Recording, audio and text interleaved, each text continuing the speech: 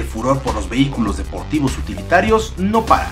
Y ahora en el marco de Auto Shanghai 2021, la marca Honda presenta el concept Honda SUV y Prototype.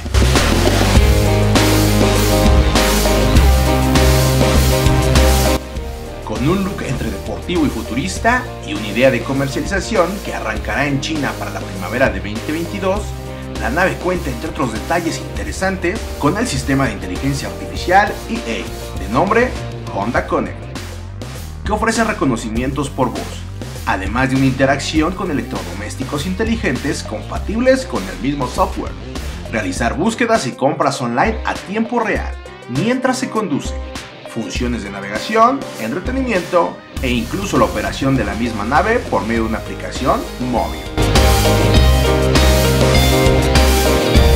Quieres saber más de este vehículo y otras noticias de la marca Honda, ingresa a nuestro portal carplanet.mx. Yo soy Raven y nos escuchamos en el siguiente video.